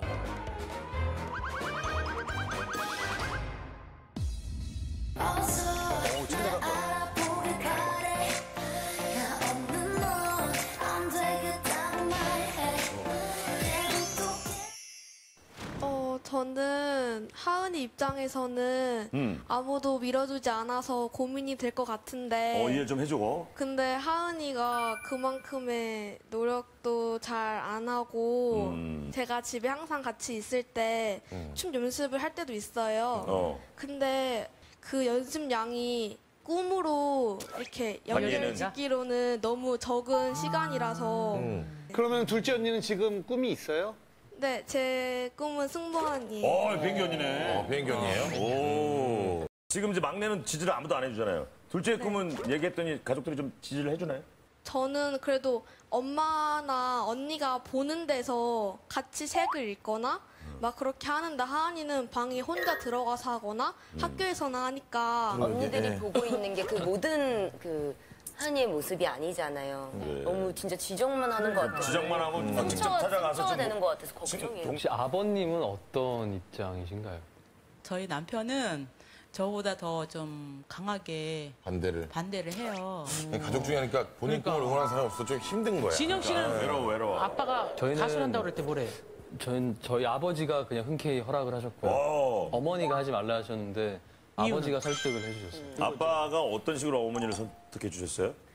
그냥 믿어 보자라는 거였던 것 같아요. 그 순간 이제 어머니 자세가 싹 바뀌신 거구나. 저는 우리 저희 아들이 세살네 살 뭐 이때부터 축구 선수가 되고 싶어 하니까. 아, 아빠를 너무 보고 자랐으니까. 네. 저희 신랑은 막 반대예요. 왜냐면은 너무 너무, 힘드니까. 힘드니까. 근데 저는 아들이 축구할 때 눈빛이 정말 바뀌어요. 그리고 막 축구 경기 보는 것도 너무 좋아하고. 그럼 저는 얘기를 하죠. 좋아하는 걸 어떻게 이기냐. 나는 태아가 진짜 축구하고 싶다 그러면 난 밀어주겠다 이렇게 말을 하거든요. 어때요? 막내가 지금 가족들은 열심히 안 한다고 얘기하고 있는데 어때요? 친구가 보기엔? 아, 저희가 춤을 좋아하는 얘들끼리 모여가지고 연습도 하고 축제 때 공연도 하거든요. 음. 근데 하은이가 안무를 되게 빨리 외워가지고 오, 못하는 음. 친구들한테 더 가- 가르쳐주고. 알려주고 네. 와, 그러면 그 같이 안무를 연습하는 친구들 중에 하은이가 어느 정도 해요? 제일 잘한다. 제일 잘하는 것 같아. 오. 제일 잘한다. 제일 잘하는 것 같아. 오. 그거 봐. 잘한다잖아. 아, 친구들은 다 인정하는데. 근데 가족들 앞에서는 유독. 왜냐면 친구들은 아, 기가 잘하고. 하은이를 그치. 이렇게 해주는데 가족들은 그렇게 안 하니까 주눅이 드는 거야.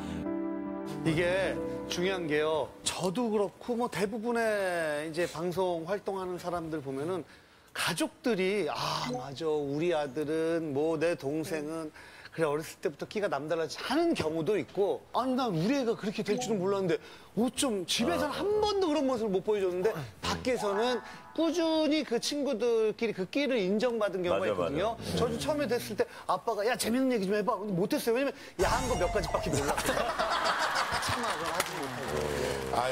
아니 근데 사실은 이제 이게 막내딸의 안무가 어느 정도 실력인지 우리도 보면 할 얘기도 좀 있고 그건 보고 싶긴 하다. 가족도 왜 이러는지도 알고 싶은데 아, 그거는 사실 물어봐야죠, 본인한테. 오늘 이 많은 사람 앞에서 사실 이 본인이 추는 춤을 보여줄 수 있는지.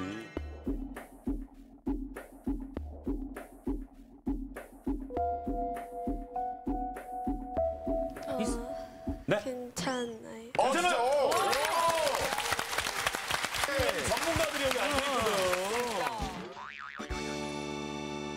날씬해 보이게 언니가 일어나 줄까? 아, 그래 너 그래 어, 네가 너 돋보이게 그래, 할게. 그래, 그래. 돋보이게 해주기야? 좀 양쪽에 서줘요. 자, 갑니다. 괜찮아 우리가 있기 때문에 응. 음. 우린 딱 이거야.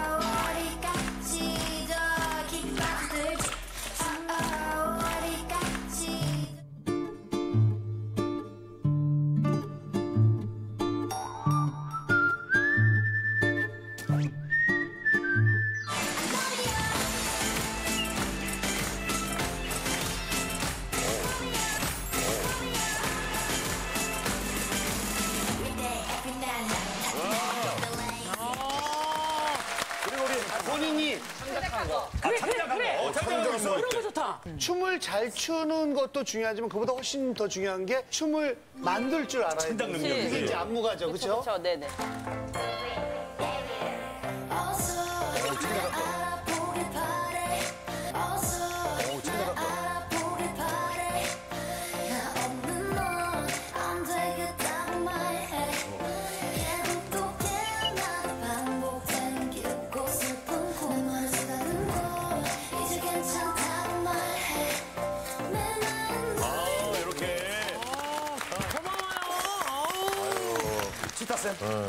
어떠셨어요? 진짜 솔직히 얘기해줘요.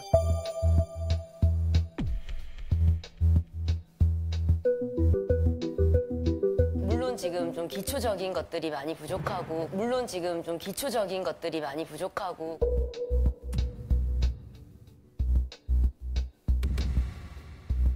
어 그럼에도 불구하고 창작도 할 수 있고 그러니까 하는 거에 지금은 의미가 더 크니까요. 잘하고 못하고를 떠났을 때. 네 사람들 앞에서 이렇게 춤을 출 수 있는 용기도 가지고 있고 음. 차근차근 제대로 뭐 배운 적 없는 6학년 그쵸. 초등학생인데. 그러니까 두 분은 어때요? 예. 예. 나, 나 먼저?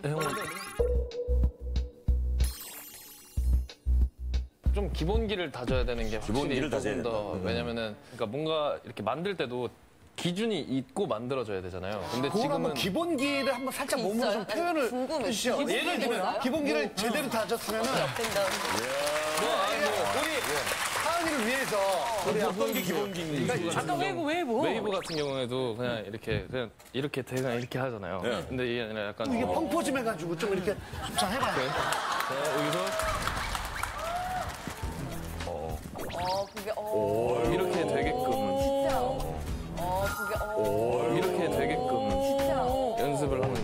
근데 그래서 이, 이 웨이브를 응용하면 어떻게 되는 거예요? 이런 것들을 그냥 계속 이렇게 이어서 계속 가야 되는 연결해서 이렇게 몸이랑 이렇게 같이 왔다 야, 갔다. 그게 기본기가 돼야 다 할 수 있다는 거야. 네. 웨이브 하나에. 웨이브 하면서 또 다른 춤도 추고 막 이러는 거죠.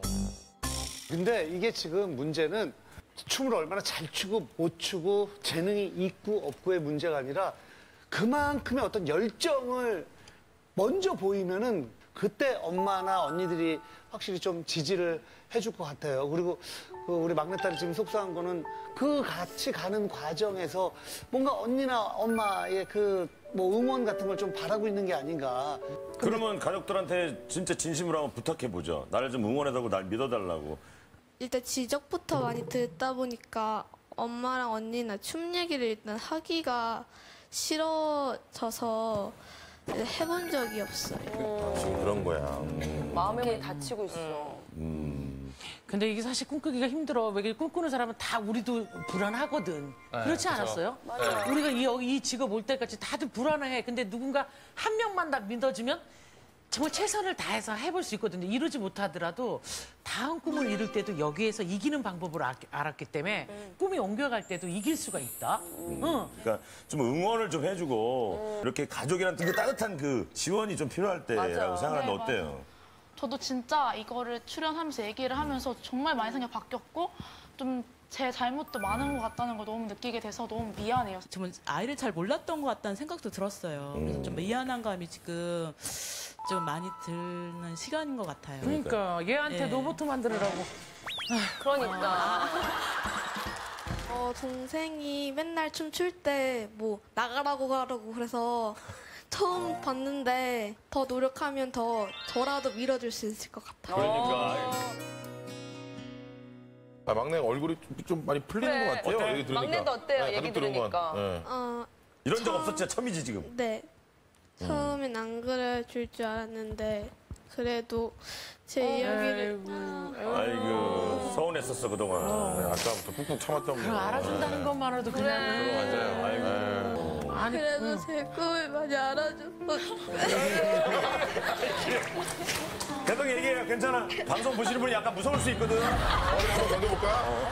되게 처음에 그냥 좀 속상하다시피 했는데 좀 가족들한테도 제가 말 심하게 한 것도 미안하고 아이고 그런 생각 들어가서 또 미안해.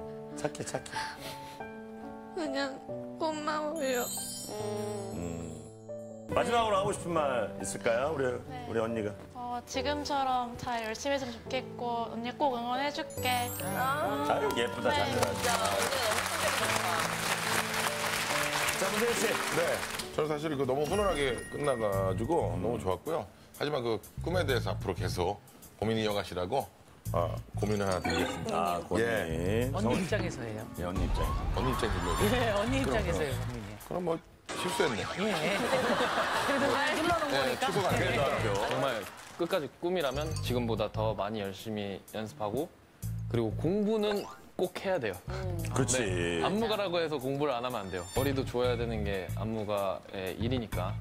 저도 고민은 아니라고 생각이 됩니다. 네. 저도 고민이 아, 아닌 것 같은데 언니 때서 이제 고민이 해결된 것 같아가지고. 우리 언니 가족들 의 입장에서 고민이라고 생각되시면 버튼을 눌러주세요. 들은 5, 4, 3, 2, 1, 그만. 결과는 어떻게 될지 보여주세요. 막내 반란. 자, 끝자리 8표. 38표. 요! 자, 이렇게 해서 이번 주에는 헤어지지 마세요가 우승을 차지합니다. 고민 상금을 드릴게요. 건강한 대한민국 고민 없는 그날까지. 안녕하세요는 여러분을 응원합니다. 감사합니다.